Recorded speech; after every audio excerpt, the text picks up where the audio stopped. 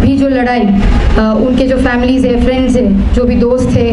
Comrade से activist से लड़ रहे हैं उनको उनके जो जज्बे है उसको भी अ, लाल I came to uh, the university back in 2016. I remember Umar as an activist, student activist, uh, and from my initial days, uh, मैंने उमर को देखा है एज अ साथी कैंपस के हर एक इशू में बाहर की जो मुद्दे हैं उनको सबको कनेक्ट करते हुए and what I saw Umar over the years uh, till he left uh, after his PhD, till I was a student, I'm like I am a student still there, and till he was a student there, that he always spoke about injustice happening within campus, outside campus, and everywhere. And that is what made his voice distinct. That is what is making the voice of political prisoners distinct at this moment in this country. Now the point is, इससे पहले काफ़ी details में legality बहुत सारी चीज़ें बोला गया है लेकिन जो बात मैं बोलना चाहूँगी कि क्यों उमर खालिद, शर्जील इमाम मीरान हैदर या नताशा दिवंगना को जब जेल में रखा गया है, क्यों उनको जेल में रखा जा रहा है? क्योंकि when we saw saw anti C A protest और anti N R C protest we saw that these were the student activist who connected masses who had the bravery the courage to speak truth to power ये लोग हिम्मत से सच्चाई को आज के समय पे बोलने का जो हिम्मत चाहिए, उनमें है। और सरकार, आज के समय पे जो सरकार है, बीजेपी, आरएसएस का सरकार है, एकदम खुले तौर से ये लोग डरते हैं ऐसे शख्सियत से, ऐसे लोगों से, ऐसे स्टूडेंट्स से, जो ये क्रिटिकल थिंकिंग रखे। हम जब बोल रहे हैं कि जब पब्लिक एडुकेशन को ख़त्म किया जा रहा है, ये एक अलग से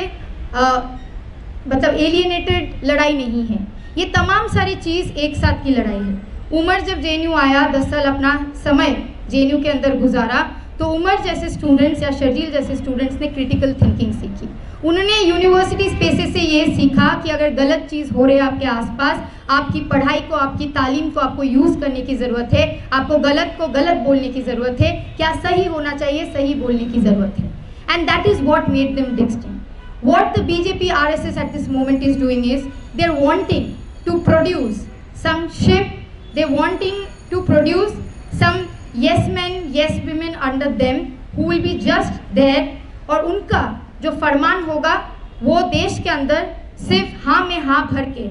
उसको फॉलो करते जाएँगे। उनके डिक्टैट्स जो है, वो लेते जाएँगे। And whenever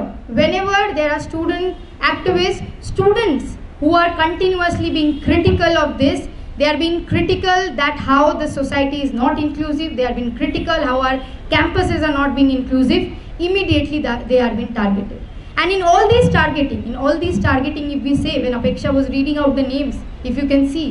the majority names are muslim names we can't deny that fact इसको एकदम सामने से रखने की ज़रूरत है कि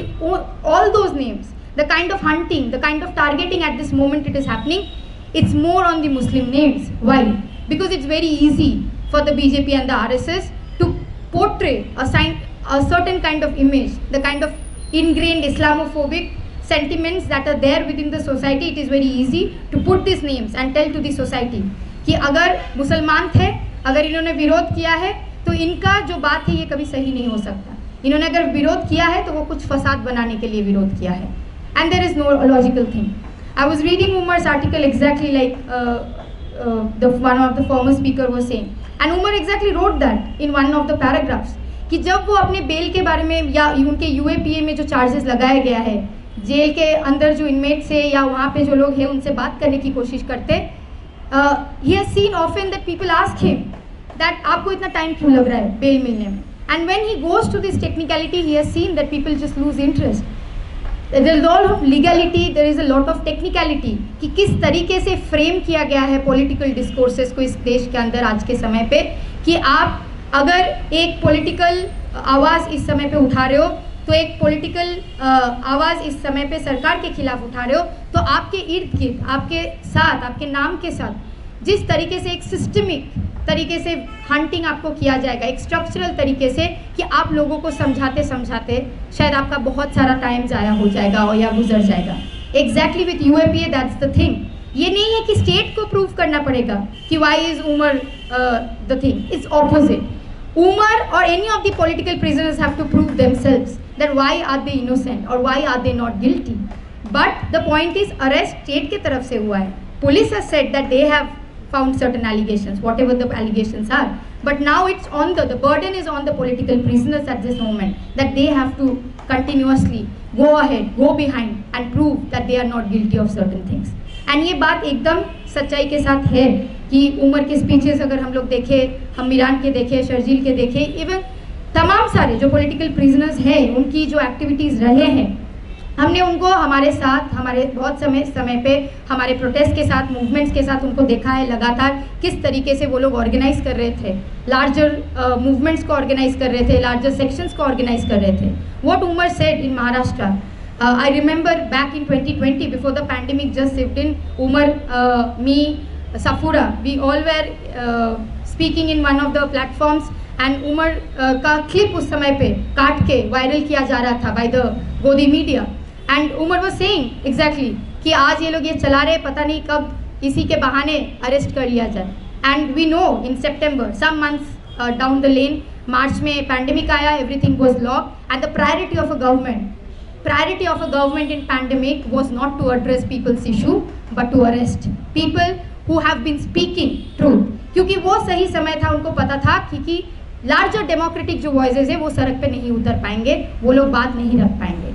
and the government very well knows at this moment that a lot of us, a lot of us, uh, Umar's friends, family, all of us, those who stand by Umar and all the political prisoners, we very well know that there has been no mistake on their part. We very well know that. There is when we are standing here right here giving our solidarities we very well know that how fabricated charges are. Even in the Bhima, Bhima Koregaon we know how activists are being fabricated with certain charges. How chips have been put how things have been done all way to ensure to frame an idea among the people among the larger society that if you are an activist if you are a political activist if you are speaking against the RSS and the BJP there is something wrong with the activist. तो ये बात जो continuously बोला गया है कि हम लोग जब सर, सरकार के खिलाफ बोल रहे हैं हम लोग इस देश को बचाने के लिए बोल रहे हैं। उमर एवं तमाम सारे पॉलिटिकल प्रिजनर्स वही काम कर रहे थे। आज के समय पे भी वो जेल के अंदर वही काम कर रहे हैं। और आज अगर उमर यहाँ पे बाहर होता जेल के बाहर ही would have been exactly doing this seeking uh, uh, solidarity for all the other political prisoners. He has been doing it throughout the days I have seen him as a student activist and still when he is in jail, he is talking about the rights of the inmates. That's exactly what Natasha Devangana, Sharjil, everyone has been doing. We have seen how Sharjil was also tortured, tried to be tortured inside uh, the jail. So in overall this, uh, once more, extending all our solidarity from the JNU community uh, to Umar and all the political prisoners, But what is very important to remember is what they stood for and what is they fighting for. And we who are outside, it's our responsibility it's a duty to ensure कि जो लड़ाई हमारे साथी लड़े हैं जो लड़ाई हमारी साथी लड़ रहे हैं